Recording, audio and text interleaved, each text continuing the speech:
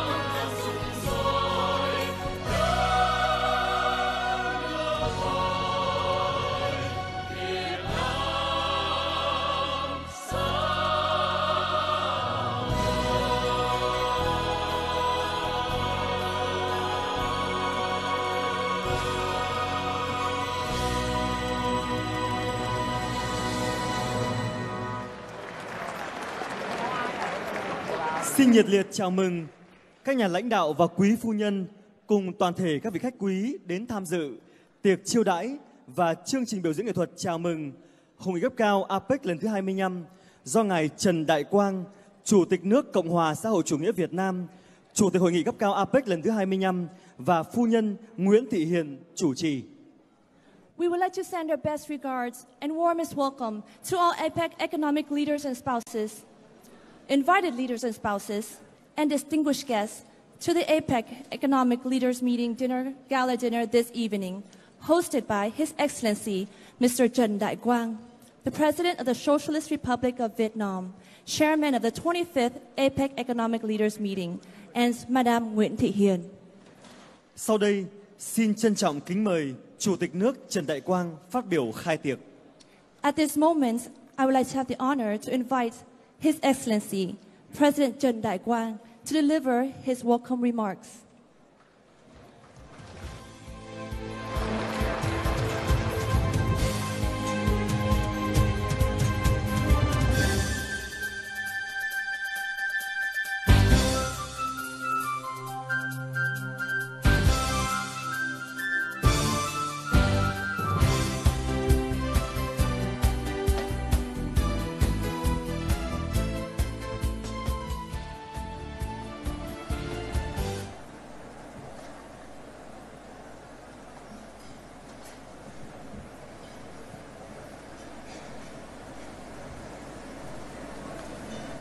Thưa các nhà lãnh đạo APEC cùng quý phu nhân, thưa quý vị và các bạn, thay mặt nhà nước và nhân dân Việt Nam, tôi nhiệt liệt chào mừng quý vị và các bạn đến dự hội nghị cấp cao APEC lần thứ 25 tại thành phố biển Đà Nẵng tươi đẹp, giàu lòng, mến khách.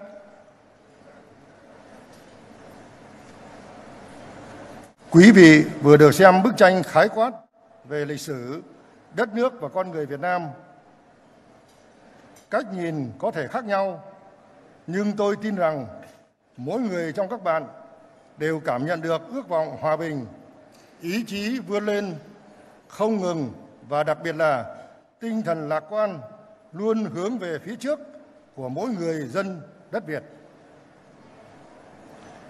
Ca dao Việt Nam có câu anh em bốn bể là nhà.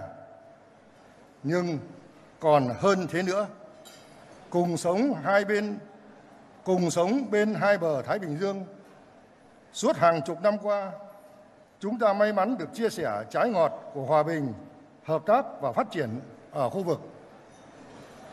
Từ một nơi từng là chiến trường, sau mấy chục năm qua, châu Á Thái Bình Dương đã trở thành cái nôi của những câu chuyện thần kỳ về phát triển kinh tế. Nền tảng của thành công đó là bởi chúng ta cùng tin tưởng vào sức mạnh của hợp tác và đối thoại.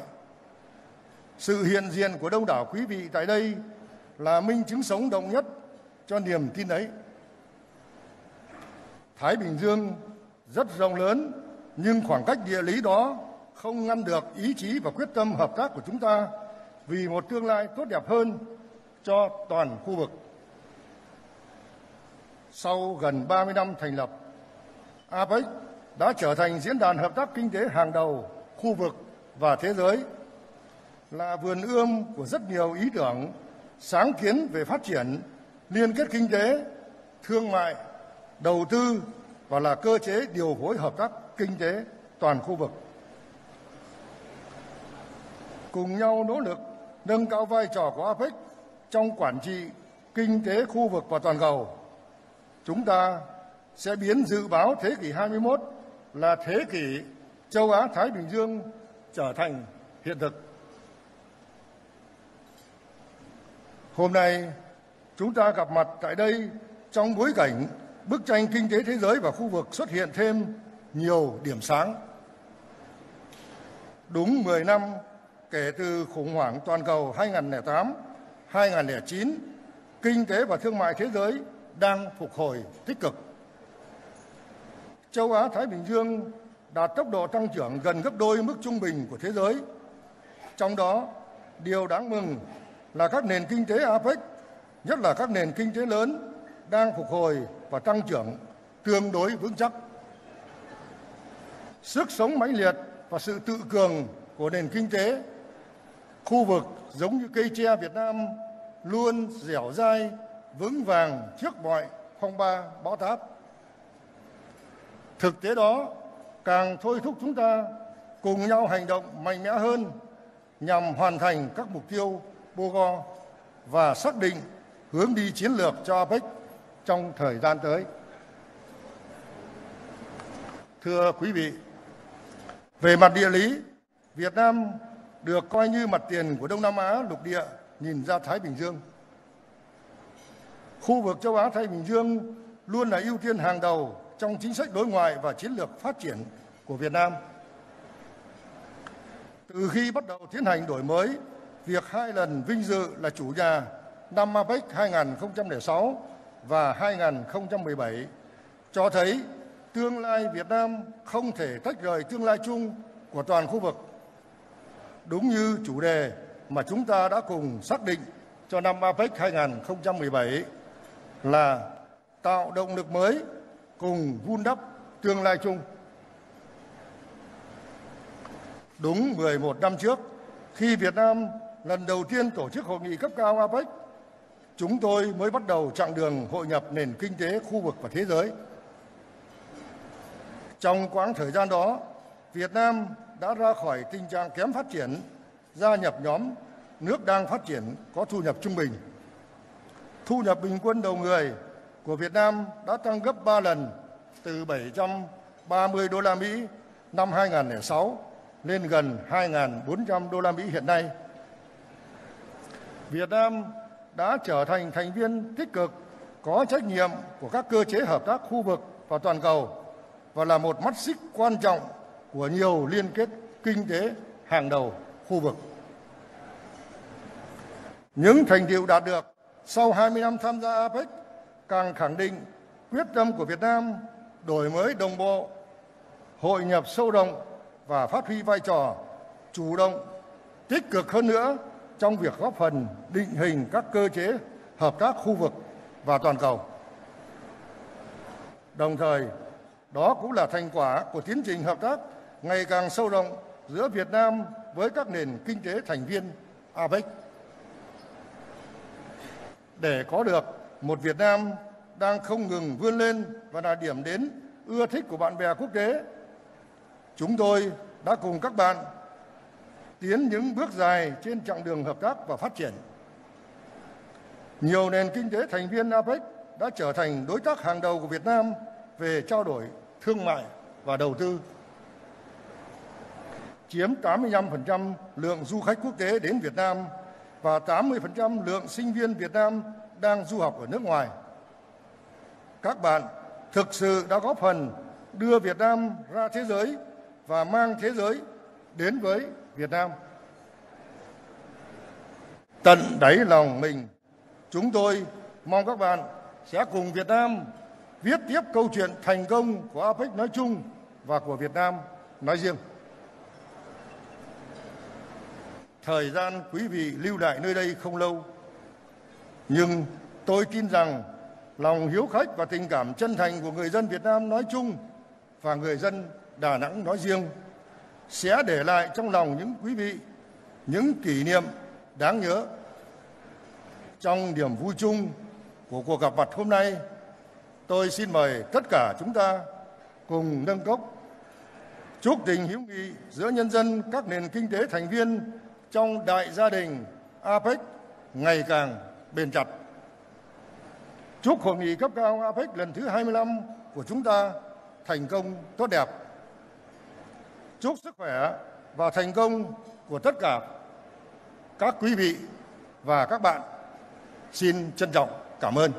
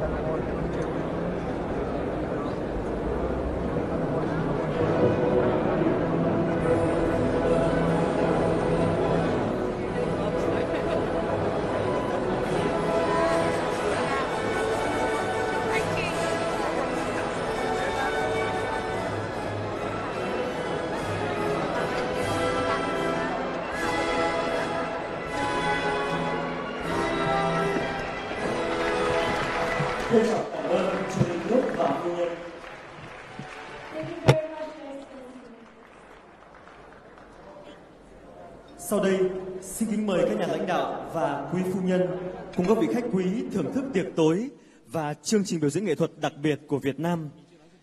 Kính chúc quý vị bữa tối ngon miệng. Xin trân trọng cảm ơn. Ladies and gentlemen, dinner is now ready to be served. We hope that you will have a wonderful evening. Enjoy the dinner and also some spectacular Vietnamese cultural performances that we have ready to present to you tonight. Thank you very much.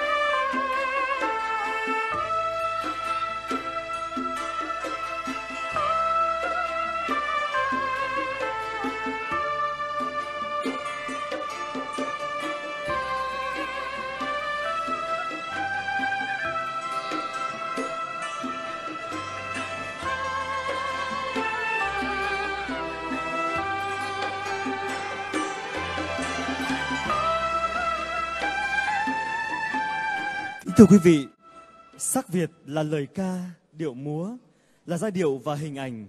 Sắc Việt là một chuyến đi trải nghiệm nét đẹp văn hóa theo chiều dài đất nước Việt Nam. Đất nước của 54 dân tộc với bản sắc văn hóa độc đáo, chung sống hòa thuận, của những giá trị văn hóa ngàn năm văn hiến, của truyền thống đấu tranh dựng nước và giữ nước vẻ vang, của phong cảnh thiên nhiên kỳ vĩ, thơ mộng, của những con người chăm chỉ, cần cù và giàu lòng nhân hậu, mến khách, của văn hóa ẩm thực đa dạng, hấp dẫn. Đất nước yêu chuộng hòa bình và đang trong quá trình hội nhập sâu rộng với thế giới. Ladies and gentlemen, Colors of Vietnam comprises of dances, melodies, and images of Vietnam. Colors of Vietnam will take us all on a journey to where we can experience the cultural beauties of Vietnam, a country of 54 ethnic groups with unique cultural identities living in harmony. It also represents our thousand year civilization, our glorious history of national construction and defense, our spectacular, poetic natural landscapes, our hardworking, kind hearted, and hospitable people, and also our delicate cuisine. All in all, it showcases a peace loving country that is in a comprehensive and intensive integration process. Sắc Việt là lời chào, lời mời bạn bè quốc tế hãy đến với Việt Nam để cảm nhận, để yêu thương và tay trong tay cùng tiến vào tương lai thịnh vượng. Colors of Vietnam is also a greeting, an invitation to all our international friends, inviting everyone to please come to our beautiful country of Vietnam to feel the love and join hands together, together to move forward to a bright and prosperous future.